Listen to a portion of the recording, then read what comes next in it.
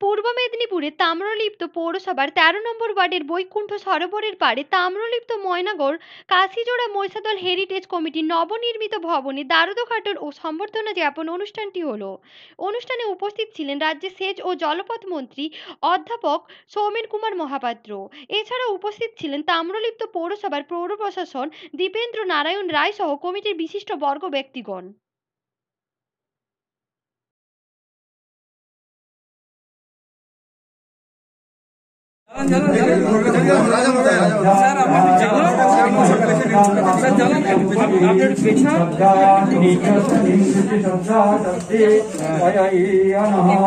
ओम मधुवातारितायते मधुक्षरान्ति सिन्धव दिवाङ्गजमधुर्गोरुष्णमधुवाङ्गोरुष्णसुर्जः ICS IAS দের মাধ্যম কেন্দ্র এমনকি পরে অতিরিক্ত জেলা শাসকও অনুরূপ ছিলেন।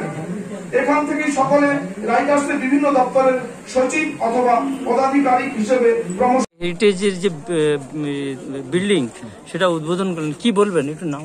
দেখুন আমি একটা কথাই বলব যে পূর্ব মেদিনীপুর জেলা নয় এটা অবিভক্ত মেদিনীপুরের গর্ব।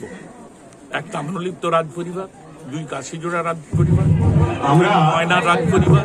চার বৈশাখের রাজ এটা সবাই জানেন, সারা ভারতবর্ষব্যাপী ইতিহাস খ্যাত কিন্তু এইগুলিকে একটা জায়গায় একত্রিত করে সেই ইতিহাস সবার সামনে তুলে ধরার কাজ অনেকটা ব্যাহত হচ্ছিল, অনেকটা হয়নি।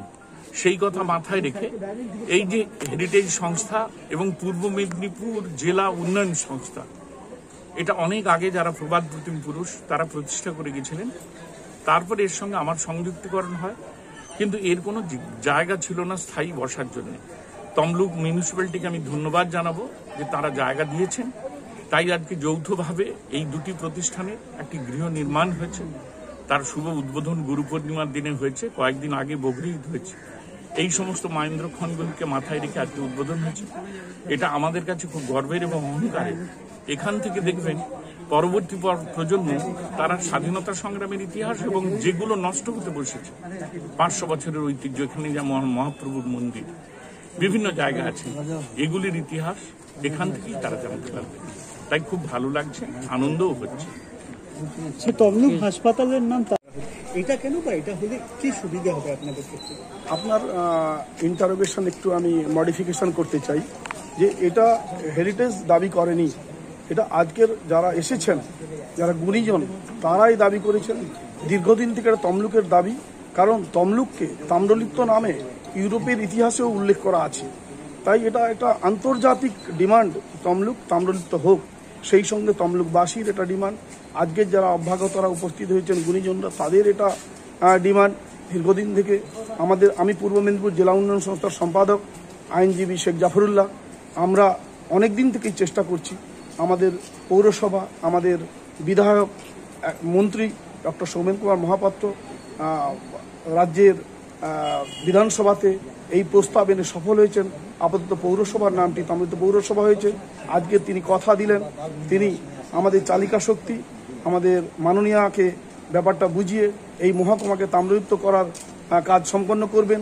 সেই সঙ্গে এটি একটি টেকনিক্যাল ব্যাপার যে তমলুক মেডিকেল কলেজ এই নামে কেন্দ্র সরকারের অর্থ এখানে মঞ্জুর হয়েছে।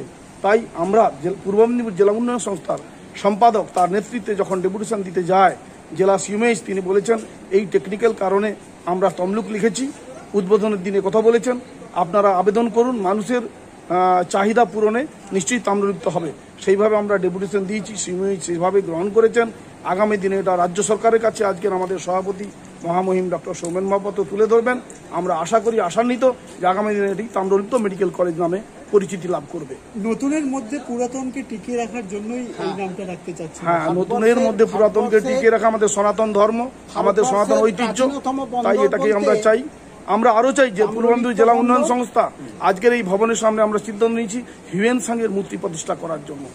আপনারা দেখবেন হায়দ্রাবাদ গেলে উসমান সাগরের চতুর্দিকে বিভিন্ন মূর্তি পরিচয় দেয়। হায়দ্রাবাদের পরিচয় দেয় ভারতবর্ষের সংস্কৃতির আমরা চাই বৈকুণ্ঠ সরোবরের চতুর্দিকে আমরা এর ইতিহাসকে তুলে ধরার জন্য একটা রেপ্লিকা তৈরি করতে চাই। কারণ তমলুকের ইতিহাস, তাম্রলিপ্তের ইতিহাস আরও আরও মানুষের কাছে পৌঁছে যাক, তার পতাকা উড্ডীন থাকুক, এটাই আমাদের কাঙ্ক্ষিত লক্ষ্য।